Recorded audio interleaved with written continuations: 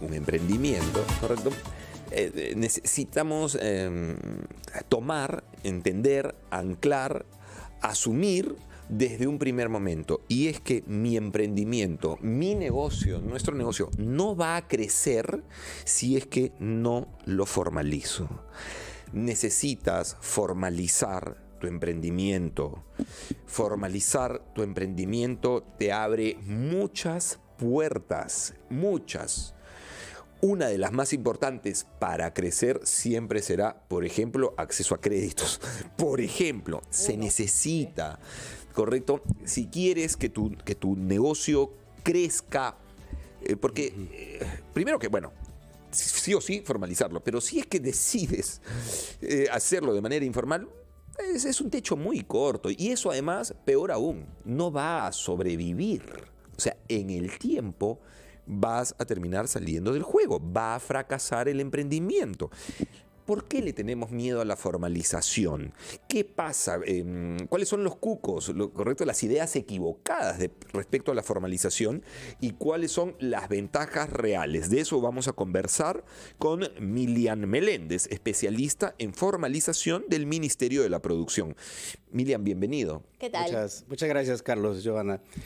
Bueno, eh, muchas gracias, de verdad, eh, a nombre del Ministerio de la Producción, del, Programa Nacional Tu Empresa, nosotros gustosos acá de estar respondiendo a sus inquietudes. ¿Cuál es el cuco con la, con la formalización? ¿Por qué hay todavía mucha gente que, que decide no ir por más formalizando su empresa, su emprendimiento? Podríamos decir un poco eh, en desventaja que sería, tiene miedo a los pagos a la SUNAT, ¿no? Más básicamente. Evadir impuestos. Evadir impuestos, ¿no? Entonces, eh, si bien vemos las estadísticas, tenemos mucha, mucho, mucha informalidad ahorita, ¿no? Estamos llegando ya al 78% de informalidad en el Perú, entonces bastante alto.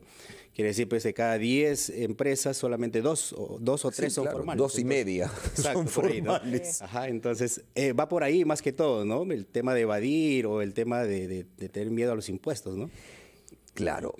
Sin embargo, eso juega en contra porque se cierran muchísimas puertas, ¿correcto? ¿Como cuáles? Correcto. Como lo dijiste a la introducción, el acceso al financiamiento, que es algo muy importante, ¿no? Claro. Otro, otro de los beneficios que pueda tener también un emprendedor al ser formal, puede acceder a, hacer las, las ventas al Estado que eso también le ayudaría muchísimo. Hoy, hoy en día estamos, estamos sacando bastantes eh, actividades de venta. Sin ir muy lejos, perdón, no solo en el Estado. Ah, claro. O sea, si yo quiero hacer un, negocio, con una empresa seria, va, a ser de igual a igual. Así es. O sea... Y necesito darle confianza siendo formal. Básicamente, claro. Siguiente nivel, si quiero exportar voy a necesitar estar formalizado. Entonces, es. como no ver, es como tener neblina frente a uno. Por ejemplo, el, tema de, consorcios, ¿no? O distribuir una marca, ¿no? Es que es muy importante. Entonces, también ellos deberían eh, ver ese tema, ¿no? De, poder. Y algo muy, muy importante también al ser formal, por ejemplo, como persona jurídica, hay una protección de su patrimonio personal, ¿no? Quiere decir que la, empresa, si hubiera algún problema, asume toda la responsabilidad, ya, ya, no ya no los socios, ni tampoco el dueño, ¿no? En este caso. Eh, estamos hablando de un tema supuesto, ¿no? Que hubiera un problema, eh, no sé, pues bancario, ¿no? Entonces, ellos no tienen responsabilidad, solamente quedaría toda la deuda con la empresa, ¿no? Entonces, eso también sería un punto muy importante para los que quieren formar básicamente una empresa jurídica, ¿no? Correcto. 212-4100, 212-7165 para que hagas tus consultas. Mm, muy bien, es, es, uno de los argumentos eh, y que tiene una cuota de verdad también, es que eh, el tema tramitológico. Unos trámites, pero que... O sea, Qué complicado. ¿Qué avances hay eh, en eso? Claro, ahí, ahí nosotros ya, bueno, nos hemos vuelto expertos, ya vamos por el quinto año haciendo este, este trabajo de formalizar los negocios.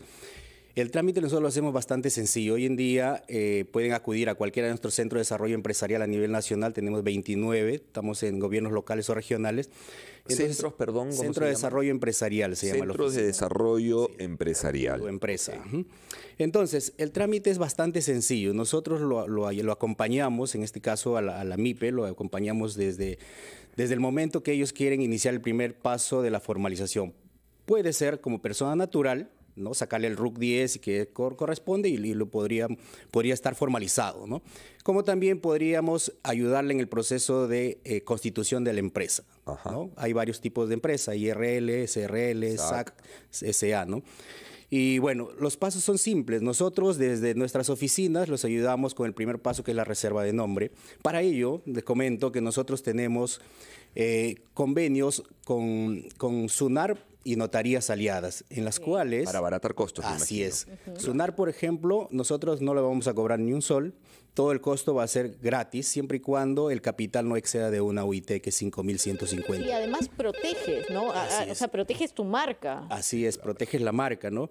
En este caso, nosotros hacemos todo el proceso, la minuta, lo elevamos a, notaría, o sea, todo el proceso que hace un notario, nosotros ya lo hacemos directamente en nuestras oficinas y lo derivamos a notaría para que lo haga el registro, ¿no?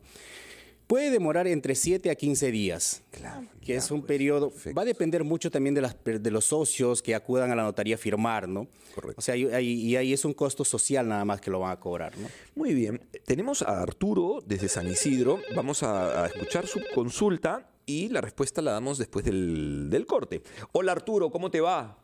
Hola Carlito, ¿cómo estás? Bienvenido Arturo, ¿cuál es tu consulta? Gracias y que tengo 10 mil dólares para poner un negocio. Si el señor me puede este, aconsejar ¿Qué tipo de negocio puedo poner con ese capital? Muy bien, gracias. Arturo, gracias. Arturo, te cuento que nuestro invitado, eh, más que a poder aconsejarte, que seguro también lo podría hacer, pero eh, de, en qué rubro invertir tu dinero, lo que está hoy conversándonos, explicándonos, es em, el tema de la formalización, ¿correcto? Correcto. Em, así es que esa, esa respuesta, bueno, es, además... Este, a ver, igual agua, ¿eh? ¿en qué pondría usted su plata? ¿O qué tipo de emprendimiento? que conocer qué negocio. Conocer, claro, son muchas variables. Al inicio hay que conocer qué negocio, qué es lo que conozco yo para poder emprender. Correcto. Esa es una muy buena respuesta, Arturo. Eh, ¿En qué, conoces tú? Tú no puedes poner un negocio desde la mirada de otro. Tú tienes que poner un negocio desde lo que a ti eh, te cierre, desde lo que tú conozcas, porque finalmente el negocio va a ser tuyo. ¿No? Ese es un gran consejo en realidad. Son las once y media, ya volvemos aquí en Encendido. Sigan llamándonos 212-4100, 212-7165.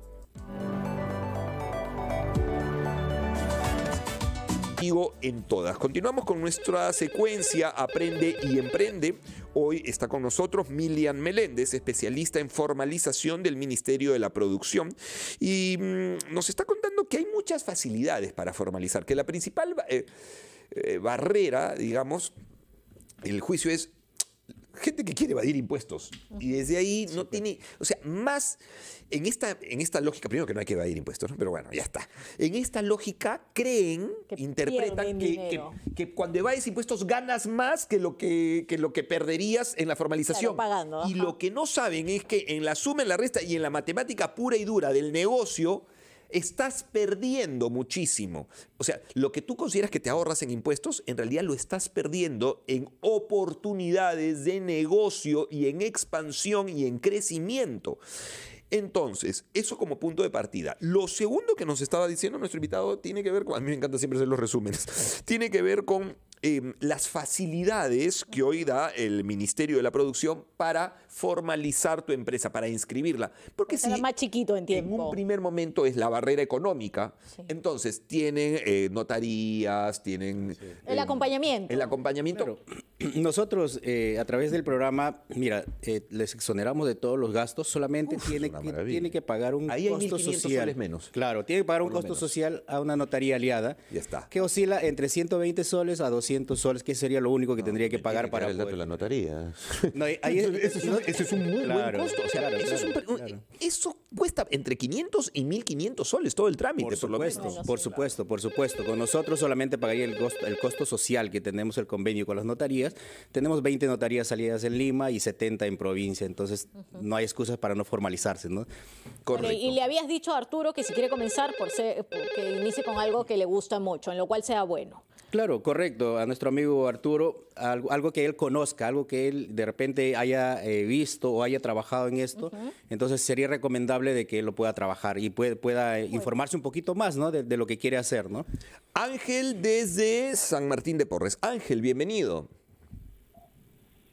Hola Ángel, buenos días. Buenos días, Carlito, ¿cómo estás? Bienvenido Ángel. ¿Cuál es tu consulta? Mi consulta es la siguiente, que eh, una empresa que mi hijo, el menor, eh, formó una empresa de servicios en, la salud.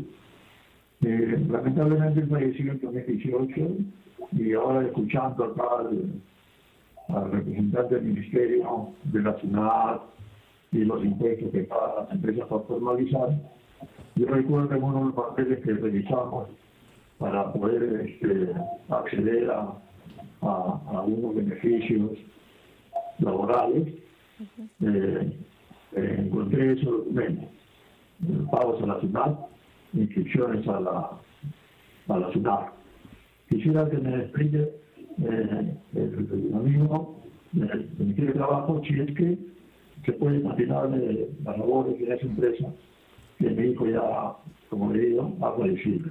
Mm, A ver, Miriam, en resumen, su hijo había iniciado todos los procesos, él ha encontrado los documentos, el papá, eh, pero su hijo falleció en el año 2018, ¿verdad? 2018. ¿Él puede continuar con la formalización de la empresa del hijo? Eh, Eso era básicamente lo que, lo que nos decía. Claro, lo, lo que pasa es que si alguien ya fallece, es un representante que ya, ya, ya no va a poder, por ejemplo, firmar. ¿no? Entonces, por, por- por sentido común ya no se, no se podría tomar como, como socio, ¿no? Entonces, lo que tendría que hacer es iniciar nuevamente otro trámite para poder aperturar una, nueva empresa. Entonces, nosotros lo podemos apoyar de esa manera, ¿no? Entonces podría acercarse a nuestra oficina en Avenida Guardia Civil 834. Entonces lo vamos a dar toda la asesoría para que él pueda nuevamente empezar con el trámite, ¿no? Y, y- y empezar ya a trabajar de, de la manera que él necesita, ¿no? Bueno, Muy bien, siguiente llamada, 11 de la mañana con 42 minutos. Em, Luis, desde ATE. Hola Luis. ¿Qué tal, mi estimado Carlos? Muy buenos días, señorita Joana. hola Luis. Hola Luis, bienvenido. Un fan número uno de la señorita Joana. ¡Epa! Muy bien, qué lindo, gracias. Eh, es una señorita periodista muy trabajadora porque desde las 5 de la mañana la escucho hasta las dos y media. ¡Qué bárbaro! Aquí todo el equipo la pica ella, pues se magna con un sueldazo. Lo bueno O es que escucha todo el día RPP. Ya me imagino, está ¿no? bien, está bien. Luis, ¿y cuál es tu consulta? Bueno, si uno evalúa la estadística que eh, dijo el señor, que el 78% más o menos son informales, uno dice, se pregunta inmediatamente, ¿por qué son informales? Porque, o sea, si solamente se tratase de evadir impuestos, bueno, sería entonces que habría más formales, pero no es así, porque cuando uno se formaliza, uno, tiene que efectivamente constituir la empresa, dos, tiene que tener su RUC, tres, tiene que tener licencia de funcionamiento, tiene que tener licencia de referencia civil, certificado de fumigación, certificado de, los, que los extintores estén al día, y si ya tienes trabajadores, planilla, AFP, CTS, etcétera, etcétera, etcétera. Entonces, la carga es muy fuerte para que una microempresa se constituya y finalmente sus costos operativos terminan siendo altos y en consecuencia ya no resulta rentable y terminan en quiebra. Lamentablemente esa es la realidad peruana, mi estimado Carlos. Sí. Eh, esa es mi apreciación, mi opinión. No sé qué pueda opinar el experto al respecto. Muy amable, gracias. Muy, muy buena pregunta, muchas gracias. Claro, bueno, tiene toda la razón, ¿no? Si nosotros lo vemos desde ese punto, vamos a tener que pagar un sinnúmero de cosas. Entonces, eh, yo lo que le recomendaría al señor, bueno, aquí es un poco más ya de, ir un poquito más allá, ver nuestra estructura de costos. Si yo voy a poner, por ejemplo, un negocio, desde un inicio yo tengo que trabajar en una estructura de costo, ¿no? Para poder saber si realmente voy a ganar o voy a perder. Porque si me voy a ir solamente a poner el negocio y decir me va, me va a ser muy rentable, no lo vamos a poder lograr. ¿no? Es un poquito educar de repente eh, a las personas que, que necesitan emprender. De esa manera nosotros también igual a través del programa hacemos capacitaciones, asesorías eh, directas que podríamos hacerle face to face con el señor y orientarle de esa manera, ¿no? Para que puedan tener su estructura de costos. En realidad es muy importante tener esa, esa herramienta, ¿no? Correcto. No, eh, Señor Meléndez, ¿cómo está? Aquí estoy, aquí estoy, Carlos, Joana. Señor Meléndez, ¿cómo está? Buen día. El tema interesante para hoy. Me gustaría consultarle además el consejo para las personas que viven en zonas rurales. Hay muchos que se han dedicado a la crianza de cuyes, algunos animales de corral. ¿Ellos también son considerados como emprendedores? ¿Deberían formalizarse? Por supuesto, por supuesto. Mira, eh, nosotros tenemos... eh, bueno, en todas las regiones estamos presentes y como dices, visitamos así a diferentes distritos más alejados, ¿no?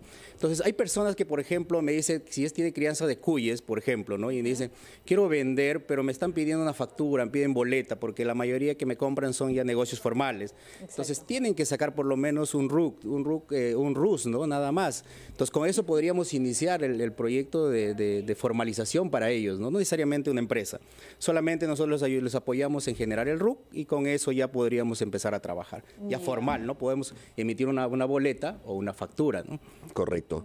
Muy bien. ¿Hay algún, mm, alguna web donde nos podamos conectar de, de todas las personas que quieran tener más información de parte del Ministerio de la, de la Producción? Sí, Carlos, quería mencionarte algo así muy importante, así rapidito. Nosotros estamos hoy día inaugurando el salón, del, el, eh, la feria del salón cacao y chocolate. Claro. Se inauguró hoy día ya. eh, esto, esto tiene eh, desde, el- desde hoy día 18 hasta el domingo 21 y nos encuentra en el Centro de Convenciones de Lima, en San Borja. Esto está abierto de 11 de la mañana a 9 de la, de la noche.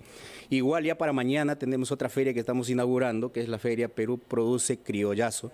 Entonces, esto de acá también eh, se inaugura mañana, y igual, tiene este, de, de 9 de la mañana, de 11 de la mañana a, a 9 de la noche, igualito. Esto va a ser en la Plaza Mayor de Surco.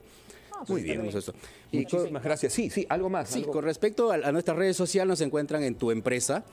Y bueno, en- en- ten- tenemos un WhatsApp de contacto, de contacto que es el 914-104-392, en la cual pueden escribirnos para cualquier duda que tengan. Muy amable. Muchísimas gracias. gracias. Milian Meléndez, especialista en formalización del Ministerio de la Producción, 11 de la mañana con 47 minutos. Ya volvemos aquí en Encendidos por RPP, la voz de todo el Perú.